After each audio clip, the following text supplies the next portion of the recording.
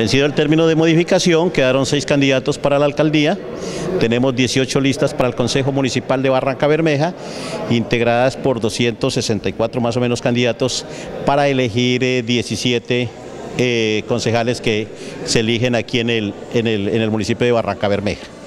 Igualmente tenemos más de unos 353 ciudadanos que se inscribieron para integrar las comunas en las, en las diferentes áreas de aquí del municipio. ¿Por firmas hay alguna dificultad o todos pasaron? No, eh, hasta el momento tenemos que se inscribieron por coalición, por firmas, pero no hay ningún reporte de, que alguno de los movimientos significativos no haya pasado el, el, examen de las firmas. El proceso igualmente tiene que ver con la inscripción de cédulas de ciudadanía, cuya fecha final de cierre es el día 27 de agosto. No olvidemos que ese proceso inició el 27 de octubre del año 2018 durante 10 meses continuos y hubo una época o un periodo en el cual se atendieron los puestos de votación que fue entre el 8 y el 14 de julio pasado.